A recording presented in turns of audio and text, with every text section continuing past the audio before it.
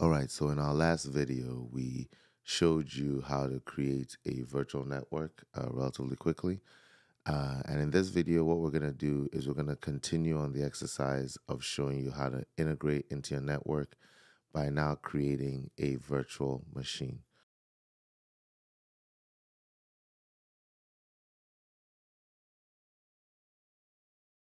And for those who don't know, a virtual machine is basically a PC that's sitting in the cloud um, it's software defined uh, PC, so everything is all software driven. There is a physical machine somewhere uh, along the chain, uh, but you interact with a software version of that machine that's virtualized using a hypervisor of some kind.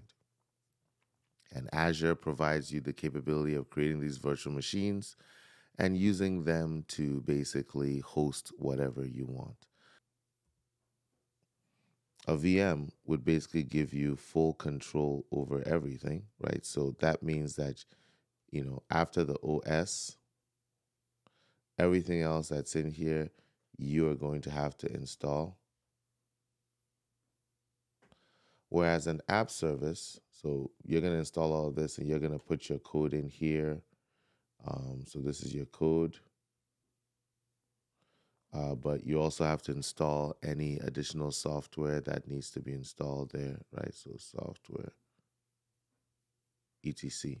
With an app service, you just focus on your code and the underlying virtual machine, app service plan. So here's your code. But this part is managed by Microsoft. So you don't have to worry about it. The runtime manages it and you don't worry about it.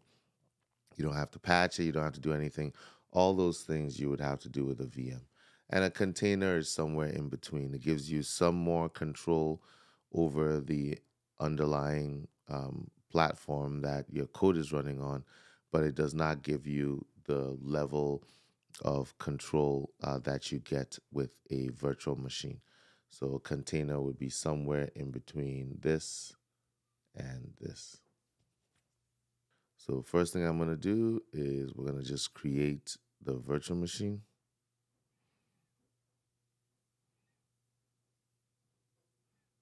Just like that.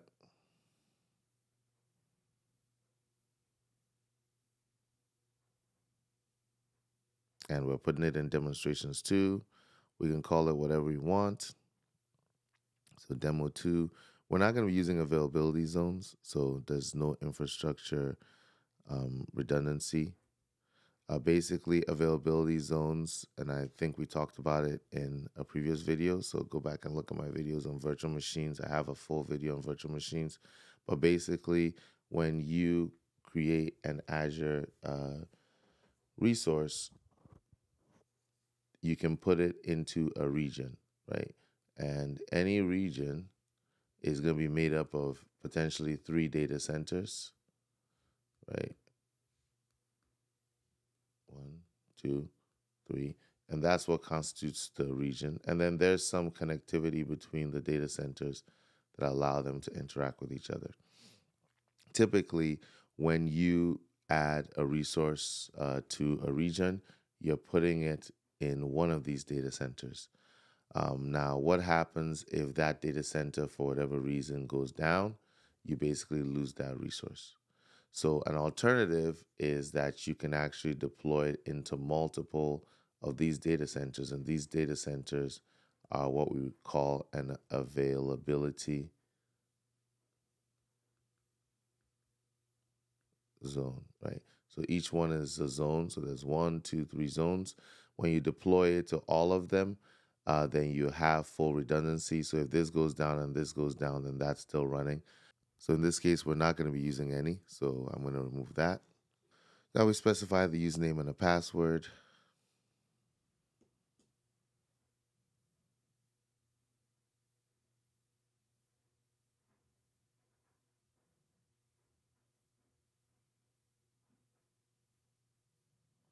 And of course, we're going to have RDP open. Now, when it comes to licensing, um, by default, if you have a license, you can transfer that license over to your cloud instance. but by default, it just uses, it'll just charge you a license and embed it into the cost of the resource. So we go into disks over here. We're not doing anything special. Uh, we basically we basically are going to be using 128 gig premium SKU. So nothing too crazy there.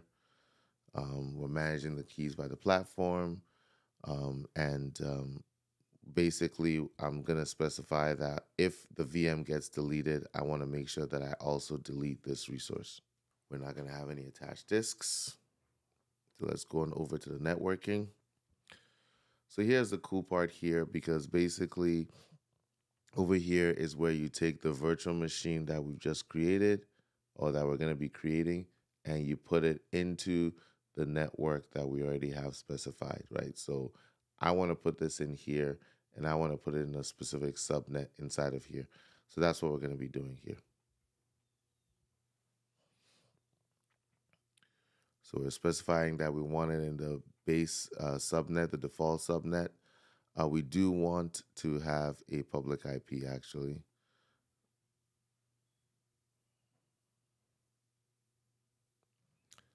So we want to make sure that the NIC, the network interface card that gets created with this, uh, basically gets deleted. Um, we're going to specify a new public IP address for this. And we go over to management. There's pretty much nothing here, uh, nothing special here. Go to monitoring. Again, we're going to use just the default. Uh, and under advanced, we're not really doing anything special here.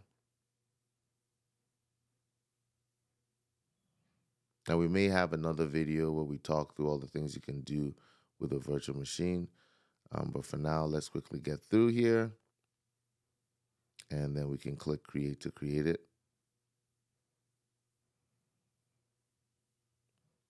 Okay, so it looks like that's created. Uh, so we can go in here and we can actually connect uh, to it.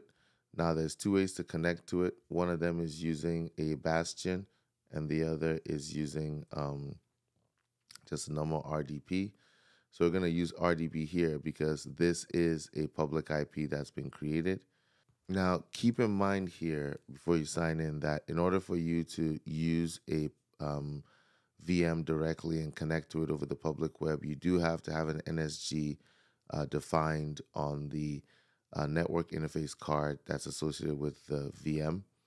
Um, and then obviously you need a public IP address that allows you to route traffic to that VM. So those two things are needed.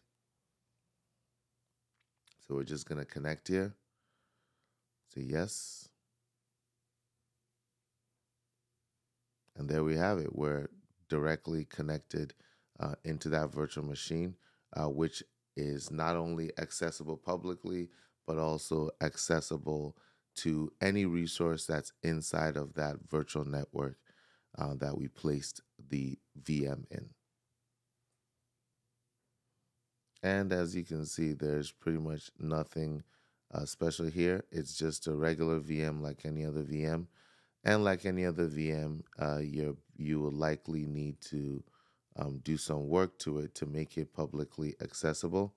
Uh, now, that being said, um, you will notice that even though this is a public facing VM, when I try to access it over the IP address that's been specified, the public facing IP address, that's not going to work. Now, in future videos, we'll show you how to enable that and allow you to be able to access it uh, directly from outside. Um, it requires modifying the Windows firewall to enable traffic to pass through. Uh, but for now, uh, this should be fine uh, for demonstrating that we do have a VM in place and we are able to use that VM to, to connect into the network.